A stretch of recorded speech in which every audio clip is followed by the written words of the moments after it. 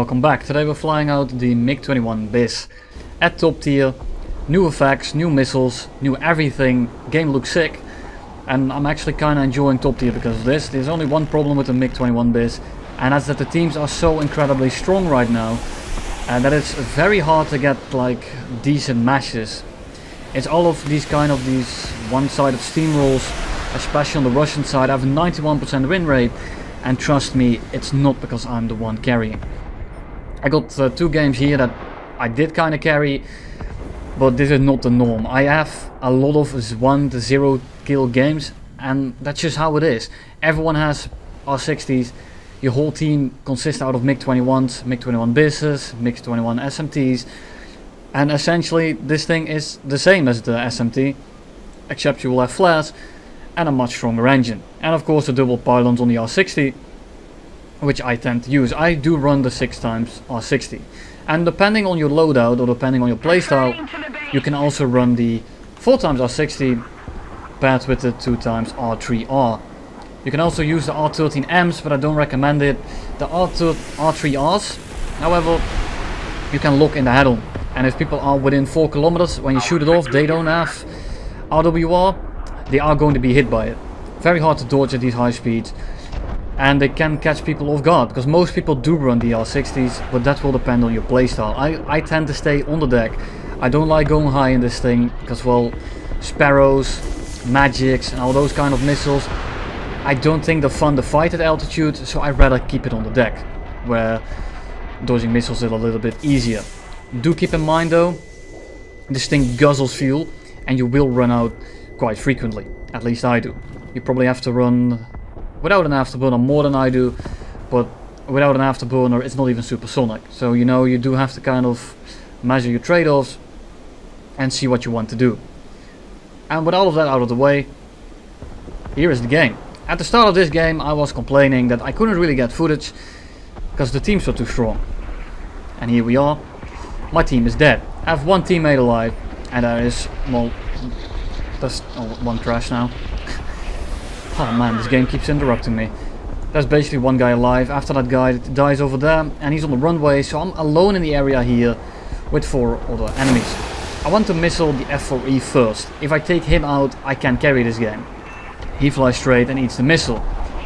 Well, of course, I would have gone for the F4E regardless, because he was the easiest kill here. Then I go for the Hunter F6. He's going straight away from me. I can get an easy missile lock in. And I don't want to deal with SRAMs, because, well, we all know currently how it is with the Harrier spam. I just don't want to deal with that. Especially SRAMs when you have an afterburner, because they can almost shoot you in the head on. And I don't want to deal with that. So, that's one Hunter out of the game. G91YS and a Hunter F6 left. So, what do I want to do here? I want to kill the Hunter as fast as I can. Because I can deal with the G91 on my own.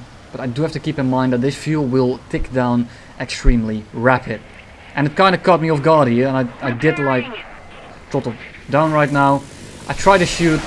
Camera flips the moment I start shooting. I, I knew it was coming and I still missed because of it. I'm preemptively flaring here. If he tries to SRAM me, then he will probably lock onto a flare. And the SRAM will go ballistic. AKA it won't track me. And I can easily fly away. And now I'm easily out of range of the SRAMs because I'm going supersonic again. And he's just not He's just not keeping up with this. Neither of these planes are, but the G91YS is kind of frustrating to fight, because of course he is so damn maneuverable. And the trust the G91YS has, even though it's it has afterburners, and even though it's fairly hot, I can't really do an all aspect lock, well not all aspect, I can't really lock him from above. Like when I'm right above him, I nose down on him, I can't really lock him, because his afterburners aren't that hot. At least in this game. I don't know how it is in real life, but in this game, that's how it is. Hunter is pitching up for me. So I break off the, the climb. I go horizontal as he keeps climbing. And then I go back down. Hunter is very slow right now. So I missile him and I continue on to the YS. And moments like this, I should probably turn my afterburner off and just glide it towards my friendly. Because at this point, I'm just burning so much fuel that I don't need to. But, you know, hindsight is 2020. And at this very point I probably would have done it again. This G91YS is extremely slow at this point. I'm coming in going Mach 1.15. So I should have all the room in the world to kill this guy. And I'm starting on my R60, waiting for the lock.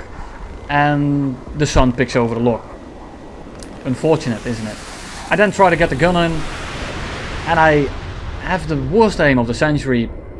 Uh, this gun is quite tedious to use. It's on the bottom of the fuselage, you can see it right there, right behind the cockpit. And the guns aren't very fast either. Luckily you do get the 50 extra rounds in this thing. I haven't really had to use them a lot yet. But it's nice nonetheless. These guns are kind of tedious to use. But that's also because of the plane. It just kind of, it's a wheel. It's a top tier jet. And the velocity that comes with it as well as the awkward placement that's kind of low and far back. It's kind of annoying to use. And G91 is turning away from me. And now he's turning back in. He's probably trying to bait my R60s out. Which is a smart thing to do. And if this was an F4E or anything else with a big afterburner, I could have locked him there. But I couldn't. So we go into the horizontal.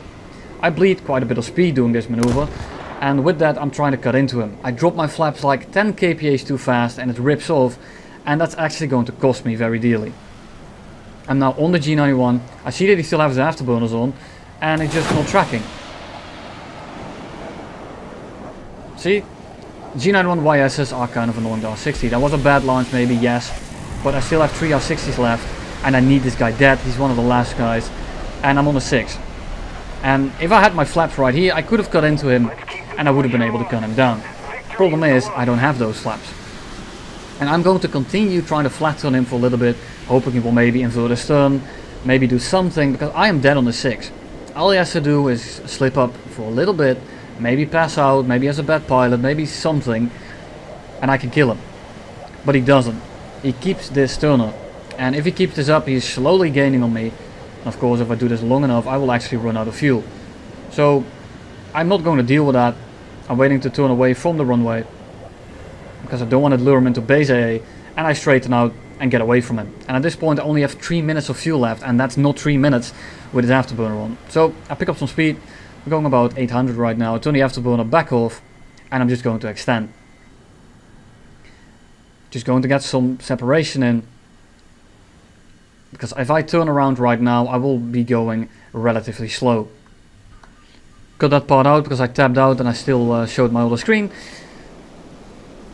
And at this point, I figure I'm not gonna win this if I run away. I need to dogfight him right now.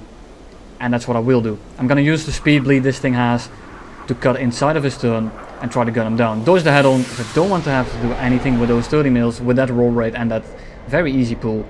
So I get above him. Just managed to miss.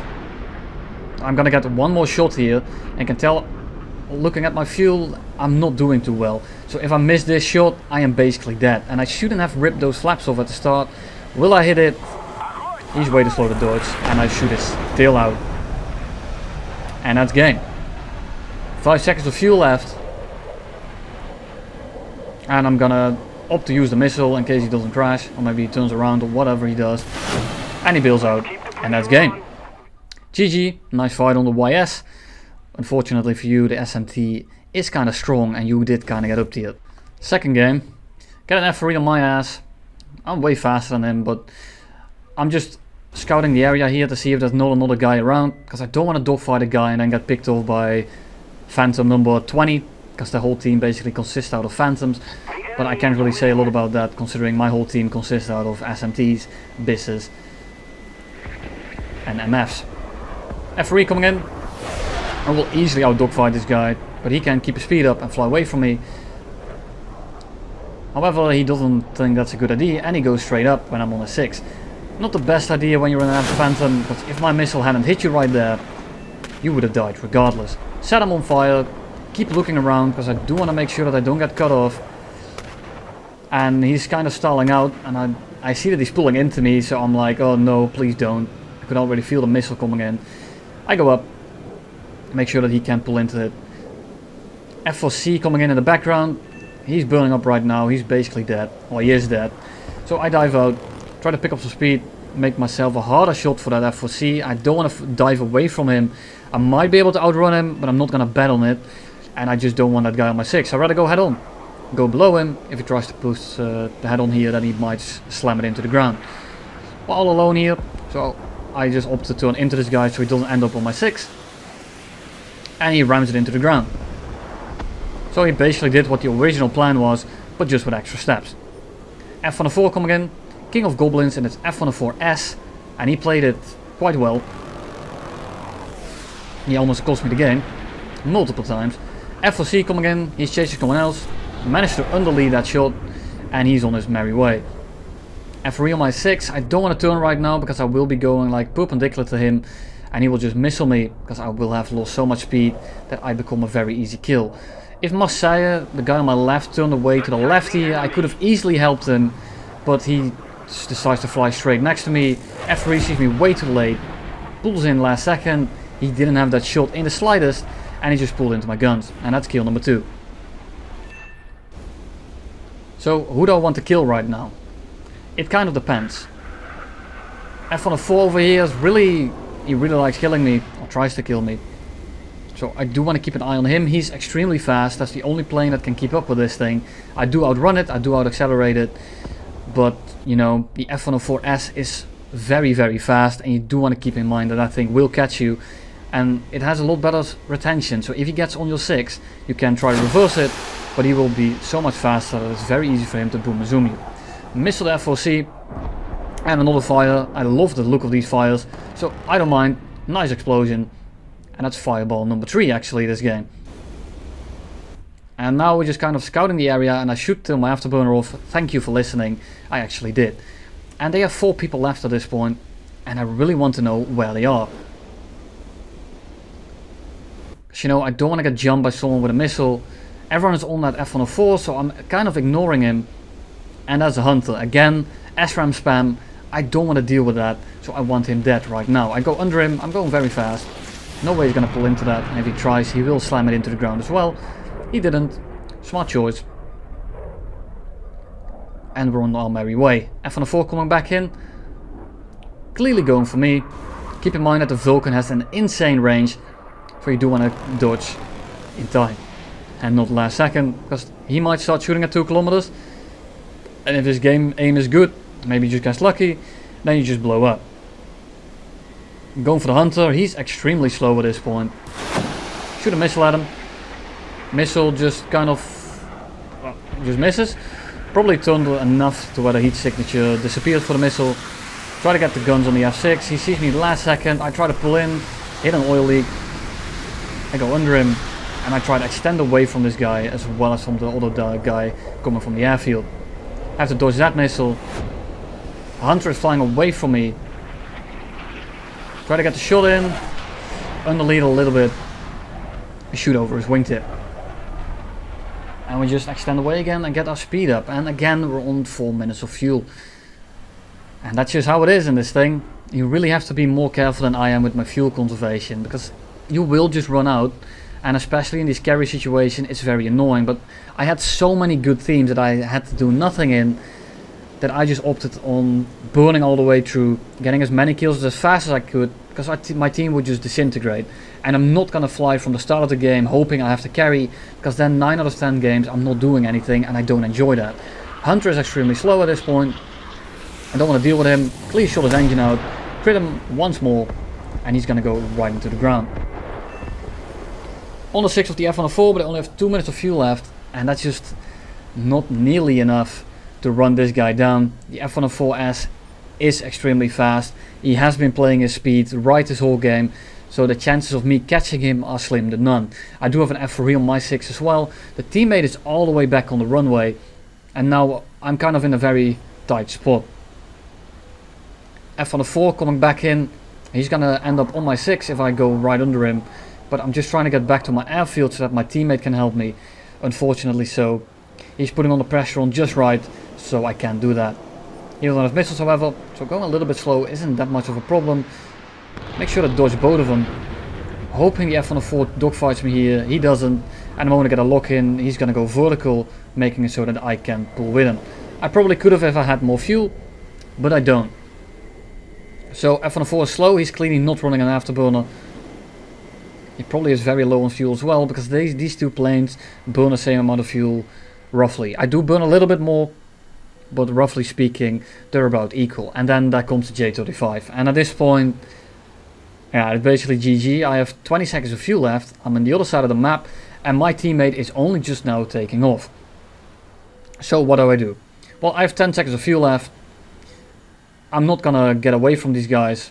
So I might as well just turn back in and do some damage and hope that my last teammate can actually clutch it up. Go ahead on with the J35, pull in, get hit, very lucky here. To snipe him, go ahead on with the F104, no fuel left at this point. See him shoot, dodge that burst and then just full commit him, get a crit and he one-shots me. I instantly put my fire out because well I don't have any fuel left. And we just go straight into the ground. Last teammate left, 4 R60s on the racks. Last guy in that team is an F104 with 1 minute of fuel and no gear left. He's severely crit. He's going to clean him up. Uh, unfortunately I didn't record it, but he did kind of clutch his game in the end. So him being alive in the end was what won us the game. Hope you enjoyed it. See you all very soon again with a Harrier video and have a nice day.